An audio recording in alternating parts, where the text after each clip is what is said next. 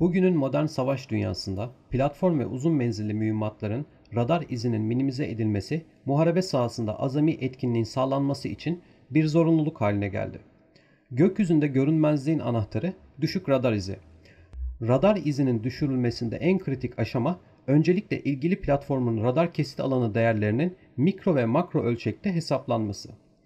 Türk Havacılık ve Uzay Sanayi İştirakı SİTEK bu konuda yerli bir çözüm geliştirdi. RICA adı verilen yazılım ile RCS hesaplamaları bütün detayları ile gerçekleştirilebiliyor.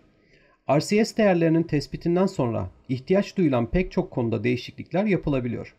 Platformun form ve tasarımında değişiklik, platform üzerinde belirli bölgelere radar sönümleyici materyal uygulanması veya taktik seviyede hedefe yaklaşma, ateş intikali, güzergahların yeniden uyarlanması bunlardan bazıları.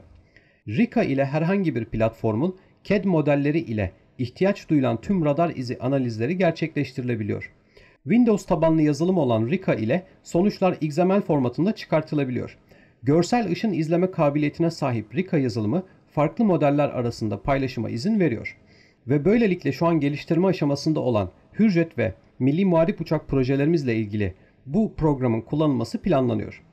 Konuyla ilgili gelişmeler ve açıklamalar yapıldıkça sizleri kanalımız üzerinden bilgilendirmeye devam edeceğiz. İzlediğiniz için teşekkür ederiz. Bir sonraki videoda görüşene dek hoşçakalın.